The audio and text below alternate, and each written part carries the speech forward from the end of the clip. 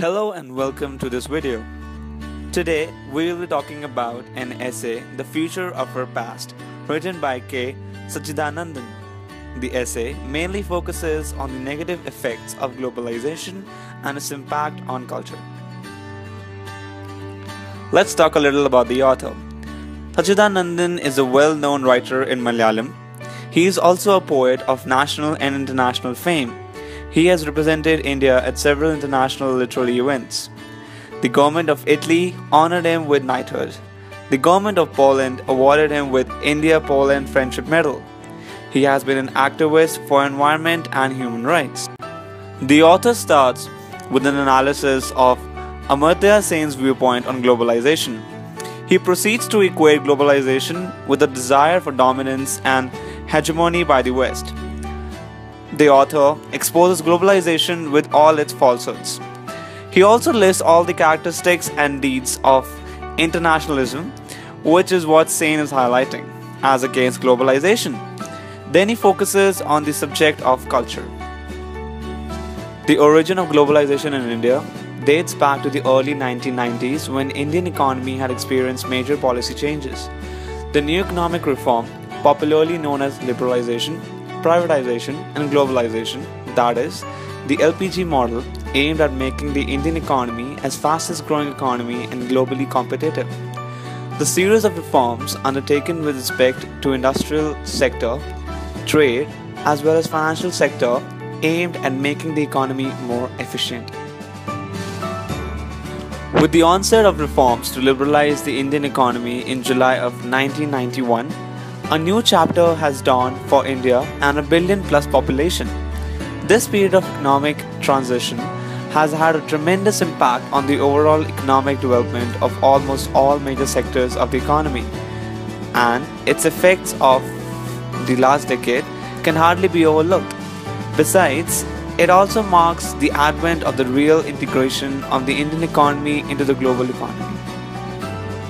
Globalization is a vast term and different people define it in various ways. As we would have all learned in high school, the term globalization refers to the integration of economies of the world through uninhibited trade and financial flows, as all through mutual exchange of technology and knowledge. Ideally, it also contains free inter-country movement of labor. Nelson Mandela defines it as globalization means, as it so often does, that the rich and powerful now have new means to further enrich and empower themselves at the cost of the poor and weaker. We have a responsibility to protest in the name of universal freedom. Hence, we can conclude that globalization can take many meanings depending on the context and on the person who is talking about it. Thanks to globalization, socially, the world has become more open and tolerant toward each other, and people living in other nations are not seen as foreign. However, it is important to consider the cons of globalization as they could pose a threat to our future economy. One of the major concerns of globalization is that it leads to exploitation of labor, usually in countries that are developing or underdeveloped like India, Africa, and China. Globalization leaves an underdeveloped country behind as it encourages free trade, and this does not provide a developing nation with the protection that they need in order to grow. Companies seek personal gain, and large companies have learned how to use globalization for their own personal gain. Globalization also leads to a loss of culture and identity. Countries are beginning to lose their identities due to immigration that is taking place on a progressively larger scale. Globalization also has negative impacts on the environment. More consumption of a wide variety of products leads to overproduction, which causes an increase in pollution. On the other hand, internationalism believes in the coexistence of all nations. It is a dialogue and exchange in terms of equality between nations and regions. Internationalism believes in a mutual recognition of lifestyles, cultural pluralism, respect for difference, and concern for identities.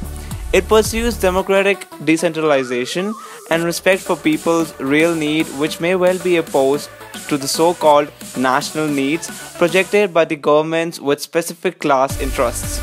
The slogan of internationalism is peace and to work towards creating conditions of peace and amity between nations. It is deeply concerned about material and spiritual ecology, committed to fighting ecofascism as well as technofascism, lays emphasis on greening the planet and insists on pollution control. One of the serious concerns addressed in this essay is about loss of cultural identity.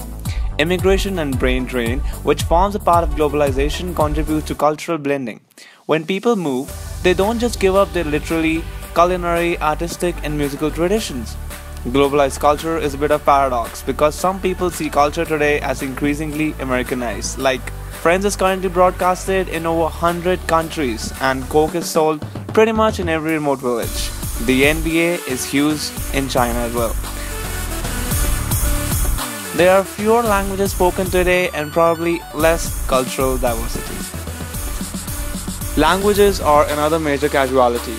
The new information order chooses certain languages that it finds useful to impose its views on the world while it ignores many mother tongues. No doubt, the importance of a language like English in contemporary expression, communication, knowledge formation, and knowledge sharing. But its singular domination over other languages and its spread as a medium of education can have why already has had a crippled effect on the indigenous languages. While we are all for English as a creative medium and even a medium of liberation, we need to be critical of its absolute hegemony as a language of power. Contemporary culture industry embraces literature, music, dance, and plastic arts besides mass communication through a tentacular network of publishing houses, periodicals, radio and television channels, and the record industry. The final commodity is not only reproduce art and literature and manipulate information, but affect the very definition, structure, and content of cultural and controlled tastes, attitudes, and worldviews.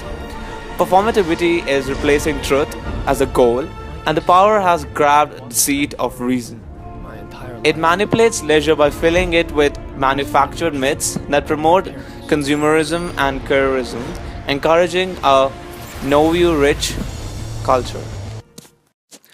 In a nutshell, this essay presents the various aspects and consequences of globalization and nationalism he brings in both the negatives and the positives of each side in this well balanced and historically rooted essay. He categorically denies and disapproves the argument of the advocates of globalization and the world is a mere consumer chain where the stress should be on the markets where only money matters. In this essay, he expresses his concern that globalization has the potential to take over and erase a place's culture, history, language, and way of life.